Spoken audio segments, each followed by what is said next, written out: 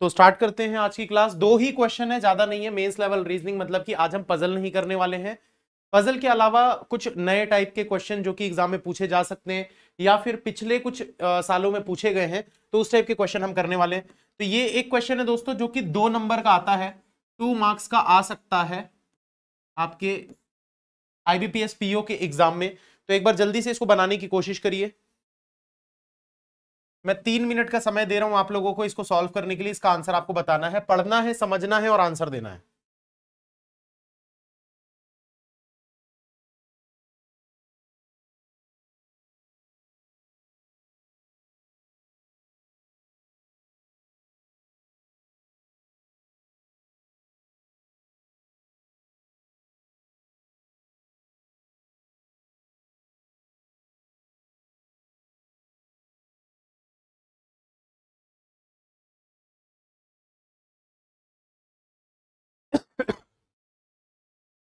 चलिए दोस्तों अभी तक तो बन जाना चाहिए था क्योंकि दो नंबर के लिए इससे ज़्यादा अगर आप समय देंगे तो कोई फ़ायदा नहीं है एग्ज़ाम में। अप्रॉक्स दो ढाई मिनट हो चुके हैं। क्या बोल रहे हैं यहाँ पर सबसे पहले तो पढ़ के समझना है कि करना क्या है हमको। Some words are given and according to those words this steps are given where the word is decoded accordingly you need to find the logic and answer the question is given मतलब हमको यहाँ पर ये कुछ word दिए हुए इन words को कोड में step one step two step three में कन्वर्ट किया गया है। तो हमको लॉजिक फाइंड करने की क्या लॉजिक है। ये लॉजिक जो है, लाखों करोड़ों पैटर्न के हो सकते हैं, हमको नहीं पता। हमको देखना है और समझना है कि वो लॉजिक कौन सा है। ऐसा नहीं है कि आप रट के चले जाओगे कि हाँ भैया ऐसा होता है और एग्ज़ाम में भी वैसा आ जाएगा तो ये पॉसिबल नहीं है। ठीक है? ऐसे लाखों तरीके के लॉजिक अलग अलग हो सकते हैं। वो आपको समझना है एग्ज़ाम में कि यहाँ से यहाँ पर क्या किया गया है, यहाँ से यहाँ पर क्या किया गया है और यहाँ से यहाँ पर क्या किया गया है। तो दोस्तों, कभी भी एक चीज़ को याद रखिए, अगर वर्ड्स को वर्ड्स में ही मतलब लेटर्स को लेटर्स में ही अगर कन्वर्ट कर रहा है मतलब डेफिनेटली आपको ए बी सी डी की ज़रूरत पड़ने वाली है।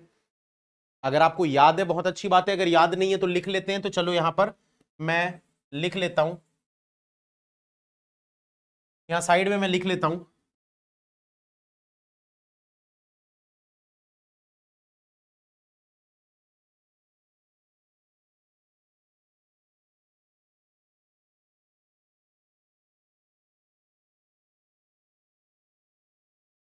इसमें अब हमको नंबर्स की भी ज़रूरत पड़ सकती है तो इसके नंबर्स भी लिख लेंगे। One two three four five six seven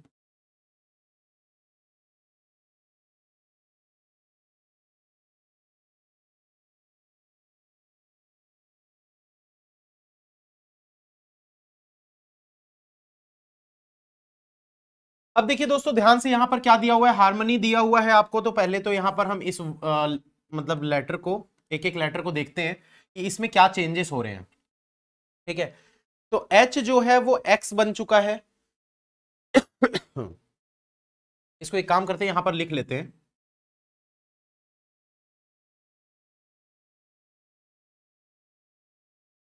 कितने कितने लेटर के वर्ड हैं वो भी देख लेते हैं। तीन तीन, छह, सात। तीन तीन, छह, तीन, नौ।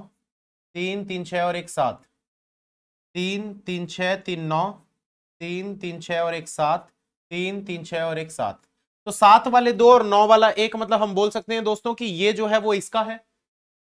भाई, अगर ये नौ लेटर का है तो ये नौ लेटर वाला जो होगा डेफिनेटली वो कोड इसका होगा हंड्रेड परसेंट। होगा? दूसरी चीज़ क्या है दोस्तों, अगर ये सात लेटर वाला है तो ये सात लेटर वाला इसका हो सकता है, लेकिन नहीं होगा। क्यों? क्योंकि भाई एच यहाँ भी दिख रहा है, यहाँ भी एच दिख रहा है मतलब डेफिनेटली ये वाले का कोड ये तो नहीं हो सकता। ये तो कंफर्म है कि इसका कोड ये तो नहीं हो सकता। तो इसका कोड ये हो जाएगा तो इस कोड के नीचे मैं ये वाले को नोट करूँगा। क्या हो जाएगा भाई? S Z I N L M B N L M B अब दोस्तों ये क्लियरली यहाँ पर दिख रहा है कि भाई एच का ऑपोजिट लेटर एस होता है, ये देखो एच का ऑपोजिट लेटर एस होता है तो इसने जस्ट ऑपोजिट लेटर यहाँ पर बनाया है। ठीक है? ए का ऑपोजिट जेड होता है आर का ऑपोजिट देखो आई दिख रहा है, ये देखो आर का ऑपोजिट आई होता है। मतलब इसने क्या किया है, सारे के सारे जितने भी वर्ड्स दिए हुए थे पहली लाइन में, उसमें क्या किया इसने हर लेटर को ऑपोजिट कर दिया है। यहाँ तक तो सबको समझ में आ गया होगा। तो अगर आपसे पूछा है what is the step three for the word courage bravery तो करेज ब्रेवरी को आपको सबसे पहले स्टेप वन में कन्वर्ट करना पड़ेगा मतलब कि उसको जस्ट ऑपोजिट लेटर में नोट करना पड़ेगा। तो चलो, सबसे पहले इसके ऑपोजिट लेटर्स नोट कर लेते हैं हम यहाँ पर करेज ब्रेवरी का। तो सी का देखते जाओ, यहाँ पर फटाफट ऐसे देखते जाएँगे। तो एक्स हो गया, उसके बाद ओ का ऑपोजिट क्या है? एल यू का ऑपोजिट है एफ़ आर का ऑपोजिट है आई ए का जेड जी का टी और ई e का वी ठीक है तो ये करेज हो गया। ब्रेवरी को देखते हैं। ब्रेवरी का क्या हो जाएगा? वाई आर का हो जाएगा। कहा गया। आर का हो जाएगा आई ए का जेड वी का हो जाएगा ई e, आर का हो जाएगा आई और वाई का हो जाएगा बी सही है एक बार चेक कर लीजिए दोस्तों हो सकता है मुझसे गलती हो जाए तो एक बार चेक कर लीजिए।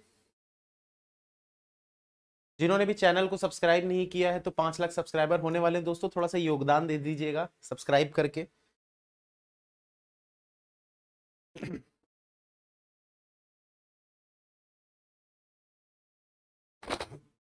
सही है?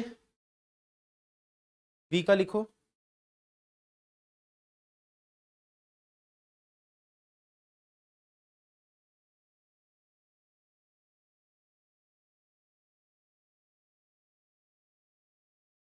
बी आर ए बी अच्छा ई e की जगह वी आएगा तो यहाँ पर वी भी आएगा दोस्तों। वी आई बी होगा आखिरी में, एक मिनट रुको, मैं इसको ठीक कर देता हूँ। वी आई बी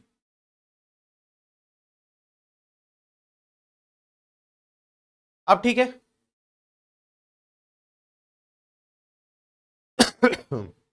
अब देखो दोस्तों, दूसरे स्टेप में क्या कर रहा है आपको ये चीज़ को पहचानना है। तो दूसरे स्टेप में क्या कर रहा है? पहचानने के लिए क्या करना पड़ेगा दोस्तों? फिर से वही चीज़ बात हो जाएगी, भाई total number of letters count करो, तभी समझ में आएगा कि किसका कोड कौन सा है। तो यहाँ पर देखो, एक, दो, तीन, चार, पाँच, छह, सात, आठ, नौ मतलब हम बोल सकते हैं कि इसका कोड जो है वो ये वाला हो रहा है। इस वाले का कोड ये वाला बनने वाला है, ये चीज़ हम कंफर्म बोल सकते हैं। तो भाई x की जगह पे z आ गया तो देखो x की जगह पे z मतलब हम बोल सकते हैं कि सेकंड टू राइट मतलब सेकंड नेक्स्ट वाला एक्स के बाद वाई आता है वाई के बाद जेड आता है। तो हम बोल सकते हैं कि दो लेटर आगे की तरफ़ आपको बढ़ना है प्लस टू जैसा कि लिख रहे हैं काफ़ी लोग प्लस टू तो भाई अगर यहाँ पर देखो x में प्लस टू करेंगे तो z आ जाता है, z में प्लस टू करोगे तो पहले a आएगा, फिर b आएगा तो ये देखो b दिख रहा है यहाँ पर। K में प्लस टू करेंगे तो क्या हो जाएगा? K में प्लस टू करेंगे तो m होता है। ये देखो यहाँ पर m दिख रहा है। मतलब दोस्तों, इसमें भी चेक कर लेते हैं। H h में प्लस टू करो भाई। H में प्लस टू करोगे तो j होता है। ये देखो j दिख रहा है। जेड में प्लस टू करोगे तो बी होता है। ये देखो बी दिख रहा है। मतलब प्लस टू करना है सभी में। तो इस वाले में भी हम प्लस टू करते जाएँगे। चलो प्लस टू करते जाएँगे भाई। यहाँ पर देखो एक्स की जगह पे क्या हो जाएगा? जेड हो जाएगा।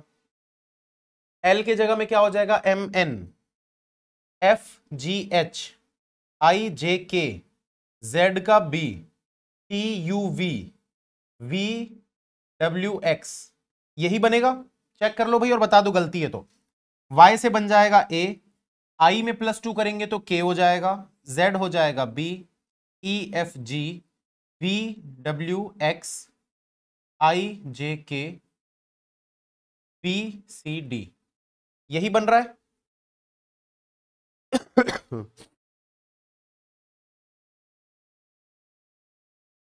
सही है ना? तो ये हो गया हमारा स्टेप नंबर टू अब देखो दोस्तों स्टेप नंबर थ्री आपको बनाना है तो क्या करना है भाई? स्टेप नंबर थ्री में देखो क्या हो रहा है यहाँ पर। तो यहाँ पर दोस्तों, सिर्फ़ और सिर्फ़ हमको एक एक लेटर दिख रहा है आखिरी में पी पी और एन और हैश स्टार स्टार तो ये स्टार स्टार और हैश तो दोस्तों हम इजीली समझ सकते हैं कि यहाँ पर वॉवेल से स्टार्ट हो रहा है तो हम बोल सकते हैं हैश होगा और कॉन्सोनेंट से स्टार्ट हो रहा है तो बोल सकते हैं कि यहाँ पर स्टार होगा, ऐसा बोल सकते हैं भाई। ज़रूरी नहीं है कि यही लॉजिक होगा लॉजिक कुछ भी हो सकता है तो सोचना है हमको और दिमाग लगाना है। तो देखते हैं भाई और क्या हो सकता है।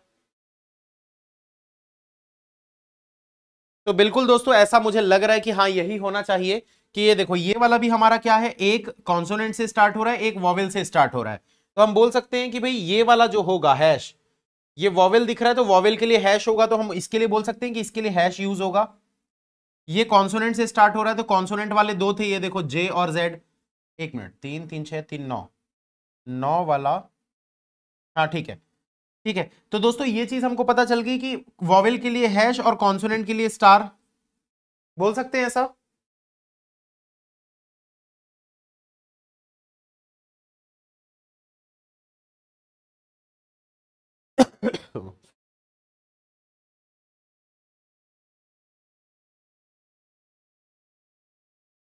अच्छा कुछ लोग ये बोल रहे हैं कि सर नाइन वाले जो है नाइन लेटर जिसमें है, उसके लिए हैश यूज़ किया गया है।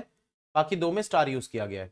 तो दोस्तों, यहाँ पर भी आप देखो ना, फिर यहाँ पर कितने लेटर हैं? तीन तीन, छह, सात, तीन तीन, छह, सात। तो सात और सात है मतलब कि सेम होना चाहिए बट आप ऑप्शंस को देखो, एक में स्टार हैश है, फिर हैश स्टार फिर हैश स्टार फिर स्टार हैश मतलब डेफिनेटली वो तो नहीं हो सकता।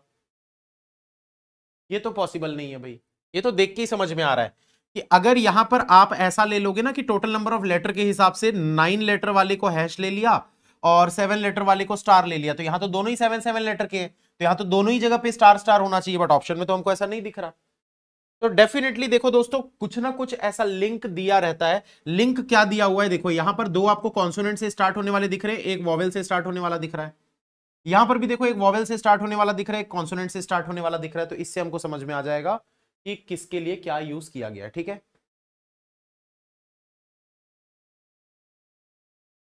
तो ये चीज़ हमारा अभी तक तो सही है, हमको ये तो पता चल गया कि भाई इसके लिए स्टार है, इसके लिए हैश है, ये तो कंफर्म है। आगे और देखते हैं कि नंबर कैसे आ रहा है और ये लेटर कैसे आ रहा है। सोचो, थोड़ा दिमाग लगाओ।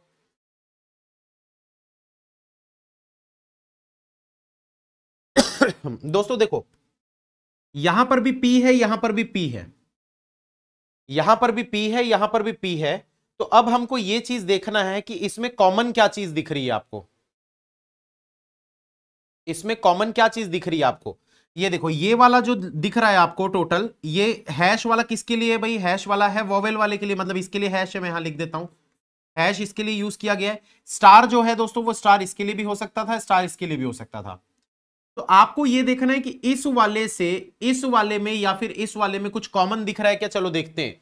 यू जे जेड कुछ कॉमन नहीं है। बी बी बी तीनों में बी कॉमन है।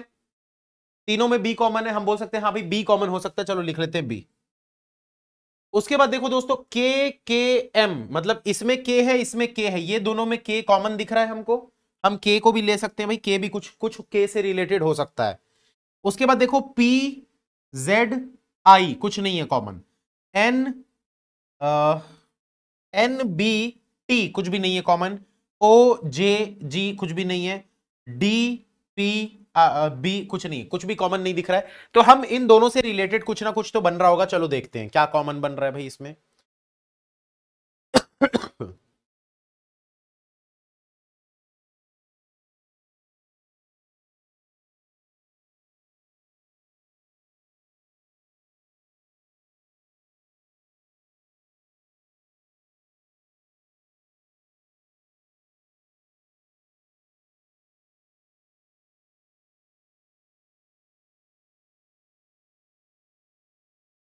हाँ तो इसमें दोस्तों ये चीज़ दिख रही है कि ये देखो के का ऑपोजिट पी दिखता है। थर्ड लेटर को देखो के का ऑपोजिट पी दिखता है। यहाँ पर भी देखो के का ऑपोजिट पी दिख रहा है आपको। यहाँ पर देखो एम का ऑपोजिट एन दिख रहा है आपको। तो हम ऐसा बोल सकते हैं कि थर्ड लेटर का ऑपोजिट होगा। चेक करके देखते हैं ऑप्शन में ऐसा कुछ दिख रहा है क्या। यहाँ अगर थर्ड लेटर का ऑपोजिट हम देखते हैं तो एच का ऑपोजिट होता है एस इस तरफ़ लिखना था, ठीक है, इधर लिख देते हैं। ठीक है? इस वाले में देखो थर्ड लेटर बी बी का ऑपोजिट क्या है? वाई तो आप अपने ऑप्शंस में चेक करो, क्या आपको कहीं पर एस स्टार या वाई हैश दिख रहा है? तो देखो भाई, यहाँ पर S star Y hash S hash Y मतलब हर जगह एस और वाई यूज़ किया गया है मतलब डेफिनेटली हमने जो लॉजिक समझा, वो हंड्रेड परसेंट करेक्ट है।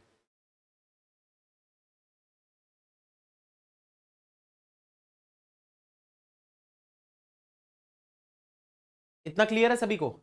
भाई, अगर सारे ही ऑप्शन में आपको एस और वाई दिख रहा है मतलब डेफिनेटली हमने एस और वाई जो निकाला है, बिल्कुल सही निकाला है। अब बचता है सिर्फ़ और सिर्फ़ नंबर तो नंबर को देखेंगे दोस्तों, सत्रह बारह ग्यारह, सत्रह बारह ग्यारह, सोचो क्या हो सकता है, सोचो, दिमाग लगाओ।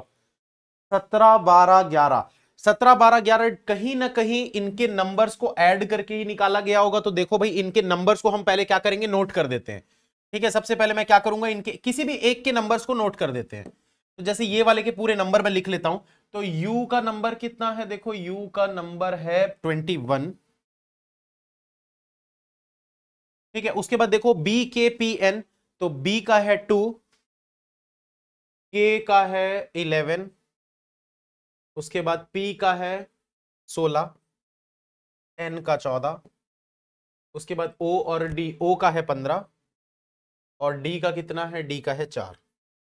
अब इन नंबर से दोस्तों देखो कि कहीं पर भी कुछ भी ऐड करके क्या सत्रह नंबर आपको मिल रहा है? देखो यहाँ पर। कुछ ऐड करके सत्रह आपको मिल रहा है। इक्कीस में कुछ भी ऐड करके सत्रह नहीं मिलता, लेकिन इक्कीस में चार को माइनस करके सत्रह मिलता है।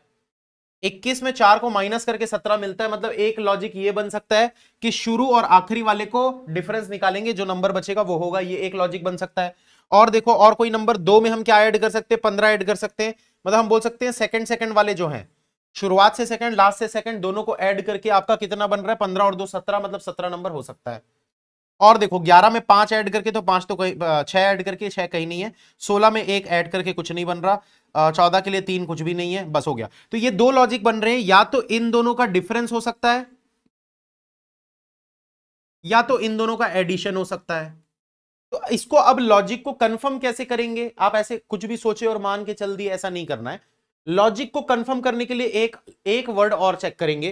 तो इसमें देखो जे का प्लेस वैल्यू कितना होता है? देखो जे का प्लेस वैल्यू होता है टेन और पी का प्लेस वैल्यू कितना होता है? सिक्सटीन तो दस और सोलह का डिफरेंस कितना आ रहा है? छह.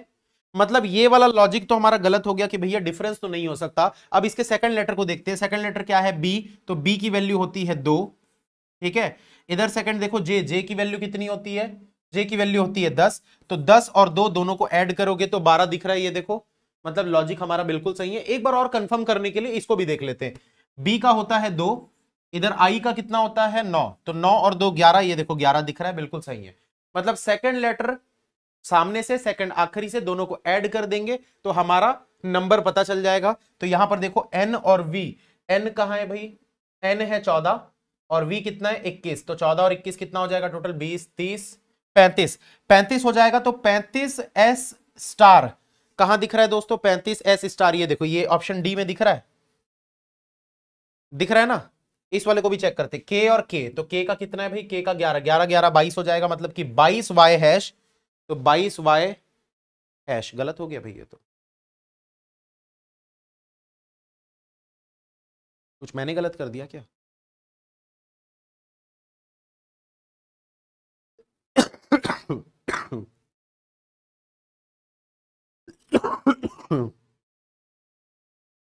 ऑप्शन ए होगा, छत्तीस एस स्टार देख लेते हैं, शायद मैंने गलती कर दी होगी।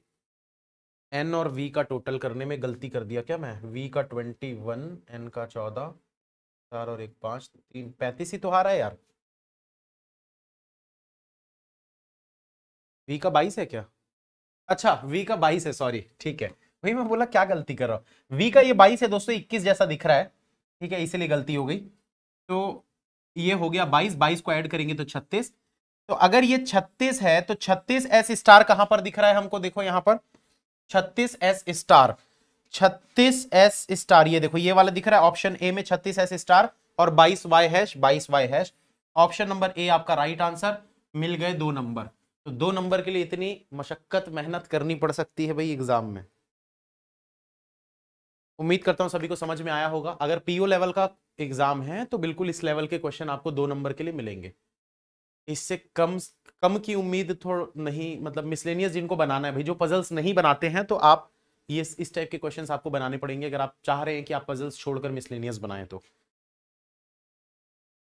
और अगर पजल बनाओगे तो बहुत अच्छी बात है भाई पजल में कंफर्म होता है कि हाँ पाँच, सात नंबर तो मिलेंगे एक क्वेश्चन और देखते हैं दोस्तों। समय वैसे कम है थोड़ा सा पर कोई बात नहीं, देख लेते हैं। देखें कि बाद में करें। करना है एक क्वेश्चन और।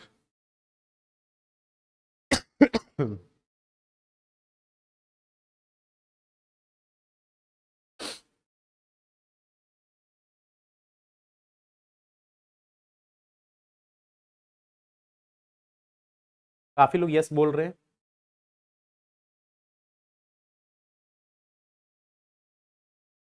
चलो, एक और करते हैं। तो ये इसका आंसर है दोस्तों, एक बार मैच कर लीजिएगा आप लोग।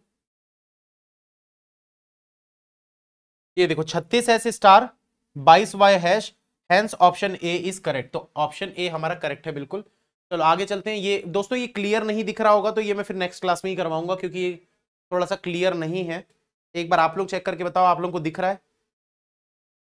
विजिबल तो है, ऐसा तो नहीं बोल सकते कि बिल्कुल ही नहीं दिख रहा है तो दिख तो रहा है। मैं भी यूट्यूब पे ही देख रहा हूँ तो दिख तो रहा है। तो चलिए, जिनको दिख रहा है भाई क्लियरली आप लोग ट्राई करिए। इस टाइप के क्वेश्चन दोस्तों, ये जो है, ये एक नंबर के लिए आता है वन मार्क ठीक है वन मार्क के तीन क्वेश्चन आ सकते हैं, इस टाइप का इनपुट आउटपुट देगा, तीन क्वेश्चन आपके पूछे जा सकते हैं। तो इसको जल्दी से बनाने की कोशिश करिए, मैं तब तक एबीसीडी लिख देता हूँ, यहाँ पर उसकी ज़रूरत पड़ सकती है, क्योंकि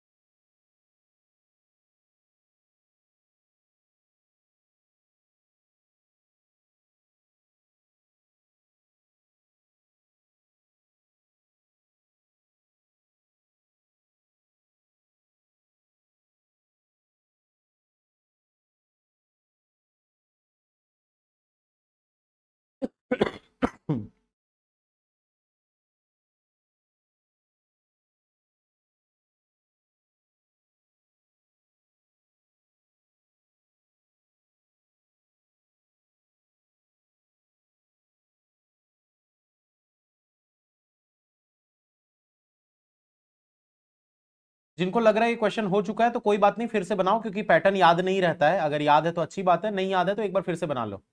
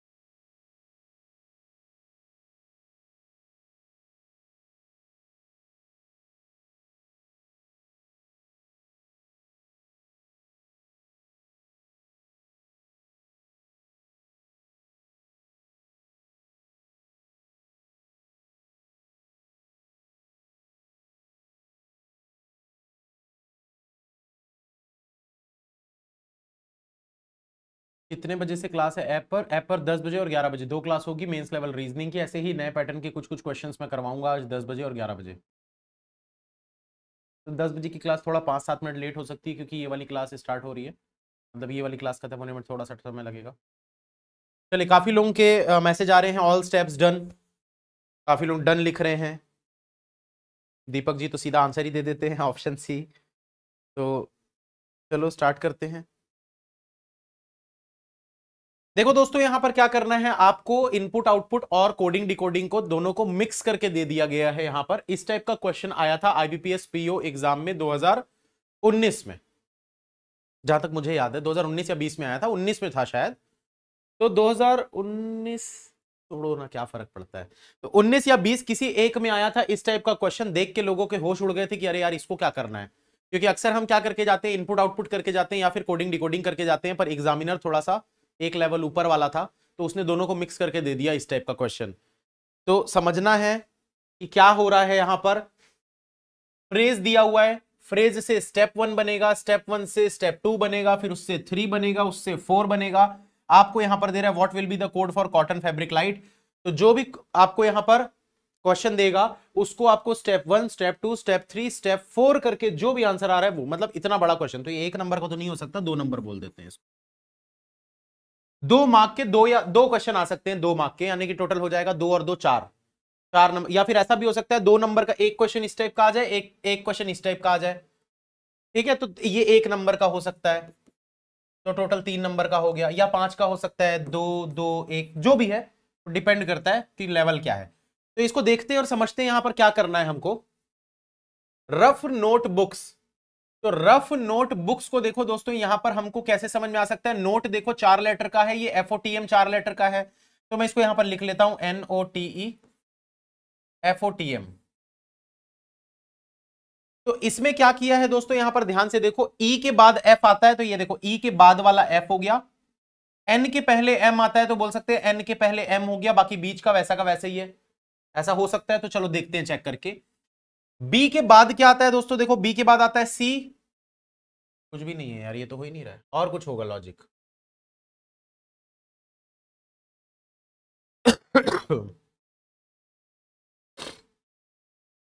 हाँ ठीक है ठीक है ठीक है। देखो दोस्तों, यहाँ पर क्या करना था? एन के पहले एम आता है और ई e के बाद एफ़ आता है ना? अच्छा वॉवेल है तो बाद वाला चेक करना है दोस्तों, ऐसा हो सकता है, ठीक है? अगर वॉवेल है तो बाद वाला चेक करना है कॉन्सोनेंट है तो पहले वाला चेक करना है। तो अगर यहाँ पर बी को देखोगे तो बी के पहले क्या आता है? ए ये देखो ए हो गया। बी के पहले ए आता है तो ए हो गया। एस के पहले क्या आता है? देखो एस के पहले, ये देखो एस के पहले, नहीं एस के बाद में क्या आता है? टी आता है तो ये टी हो गया। थोड़ा लॉजिक मुझे नहीं समझ आ रहा है। रुको एक मिनट, देखने दो।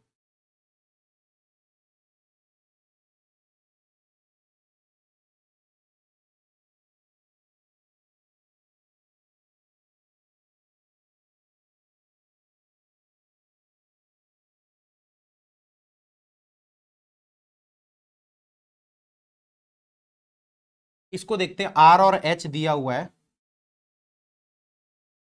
ठीक है तो इसको हम थोड़ा सा चेंज करके लिखते हैं पहले तो ऑपोजिट ही लिख लेता हूँ मैं। आ, बाद वाले को पहले लिख लेते हैं और आर को इधर लिख लेते हैं। एच आर इसका क्या हो जाएगा? बी और एस और नोट का क्या हो जाएगा? ई e और एन अब देखो इनके कोड क्या क्या बन रहे I Q I Q rough का। इसका क्या बन रहा है बुक्स का? टी और ए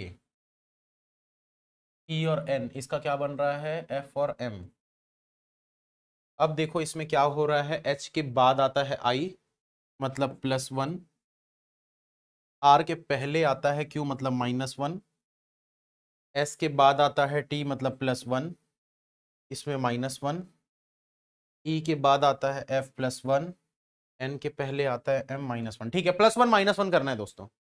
प्लस वन माइनस वन करना है, ये लॉजिक क्लियर हो गया हमारा। तो अगर हम इसकी बात करें कॉटन फैब्रिक लाइट की तो क्या हो जाएगा दोस्तों? प्लस वन माइनस वन के अकॉर्डिंग अगर आप देखोगे यहाँ पर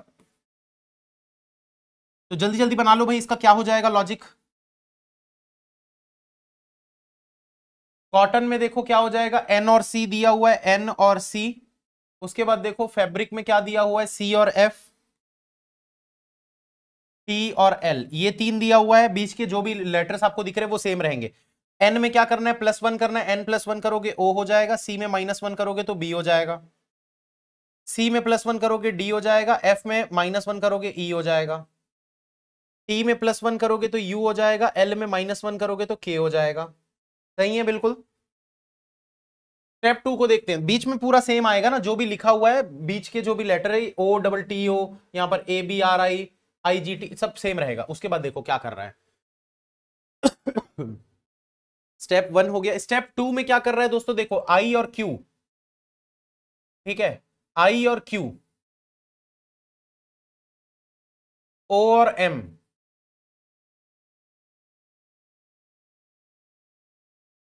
ओ और के कैसे ले रहा है भाई?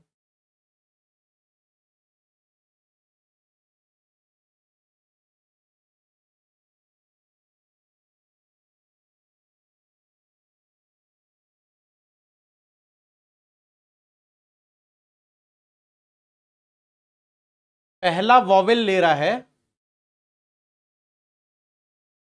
और पहला कॉन्सोनेंट ले रहा है, ठीक है? देखो, ध्यान से सुनो भाई। इधर से पहला वॉवेल जो भी होगा, उसको ले रहा है। इधर से जो भी पहला कॉन्सोनेंट होगा, उसको ले रहा है। तो अगर हम यहाँ पर बात करें कि पहला वॉवेल क्या है भाई, यहाँ पर ये देखो आई दिख रहा है आपको। कॉन्सोनेंट इधर से पहला क्यू दिख रहा है, इसलिए आई क्यू ले लिया। इसमें पहला वॉवेल आपको ओ दिख रहा है। इधर से कॉन्सोनेंट एम दिख रहा है तो ओ और एम को ले लिया।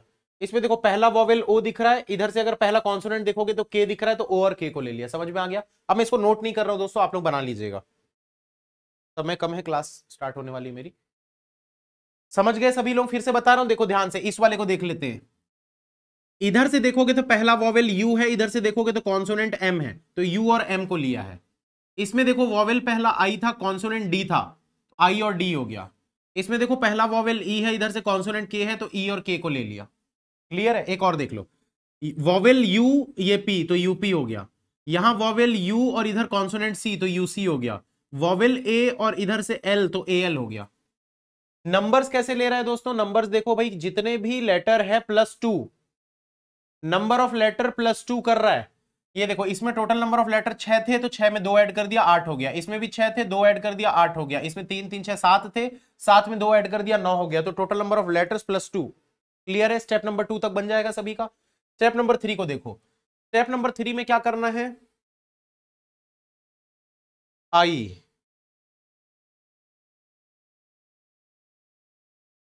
जे के ठीक है? क्यू के पहले पी मतलब ऐसा बोल सकते हैं प्लस टू माइनस वन देखते। ओ में प्लस टू करेंगे तो क्यू होता है, ठीक है। एम में माइनस वन करेंगे तो एल होता है, ठीक है, बिल्कुल। ये देखो प्लस टू माइनस वन बोल सकते हैं। यहाँ पर प्लस टू माइनस वन हो रहा है भाई। आई में प्लस टू करोगे तो ये देखो के हो जाता है क्यू में माइनस वन करोगे तो पी हो जाता है तो के पी आ गया। तो आपको प्लस टू और माइनस वन करते जाना है, plus two minus one, plus two minus one करते जाना है इन लेटर्स में। अच्छा नंबर्स नंबर्स को क्या किया है दोस्तों? नंबर्स को देखो यहाँ पर ध्यान से। सेवन वाले को इसने डॉलर में कन्वर्ट कर दिया है। सेवन को इसने डॉलर में कन्वर्ट कर दिया है सिक्स को इसने एट द रेट में कन्वर्ट कर दिया है। एट एट दो बार दिख रहा है तो ये भी ए... अच्छा एक मिनट एक मिनट। ये ऑड है और ये इवन है। ठीक है? डॉलर जो है, ये देखो, दो बार यहाँ पर ऑड दिख रहा है तो दो बार डॉलर दिख रहा है मतलब ऑड जो है वो डॉलर के लिए हो गया इवन के लिए एट द रेट हो गया। क्लियर है सभी को? इसके बाद देखो दोस्तों लास्ट स्टेप में क्या कर रहा है, जो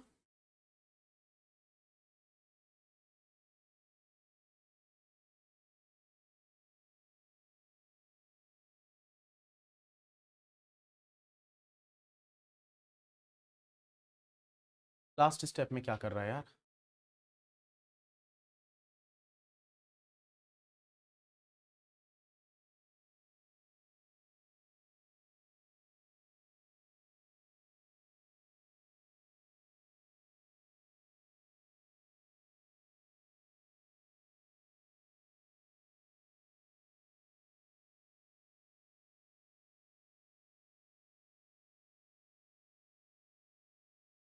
इसमें दोस्तों, देखकर तो ये लग रहा है कि भाई जो सबसे कम साइन यूज़ हुआ है, वो यूज़ कर रहा है। जैसे कि यहाँ पर देखो, ये एट द रेट दिख रहा है एक ही बार, दो बार डॉलर दिख रहा था तो डॉलर वाले को काट दिया, इसको एट द रेट को ले लिया। इसमें दो बार एट द रेट यूज़ हुआ है तो डॉलर वाले को ले लिया। इसमें दो बार डॉलर यूज़ हुआ है तो एट द रेट वाले को ले लिया। ये हो सकता है। अब क्यू और एल को देखेंगे कि एल और आर कैसे आ रहा है। तो क्यू के बाद आ रहा है आर क्यू के बाद आ रहा है आर मतलब plus one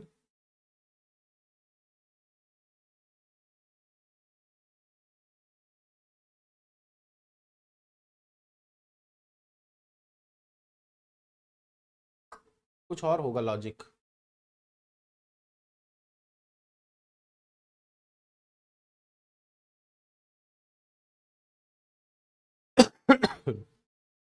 opposite plus two C opposite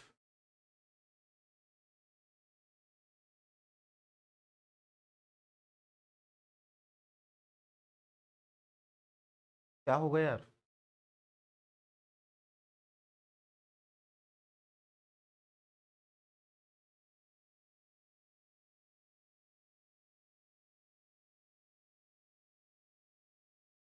अच्छा ठीक है। सबका यूज़ किया है भाई। तो अतरंगी है भाई।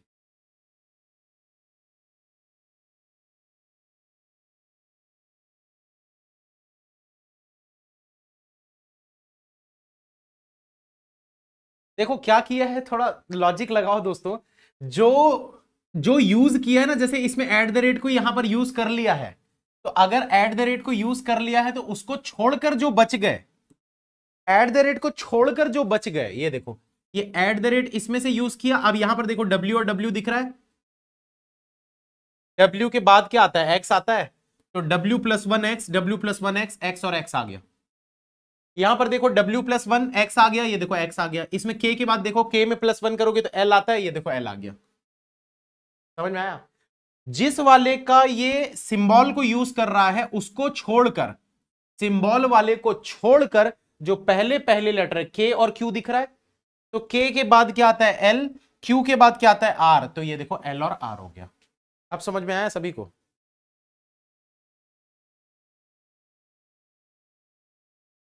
जिसका सिंबल यूज़ किया है, उसको छोड़कर, बाकी जितने भी दिख रहे हैं ना, उनके पहले पहले लेटर में प्लस वन करके उसने कोड बनाया है।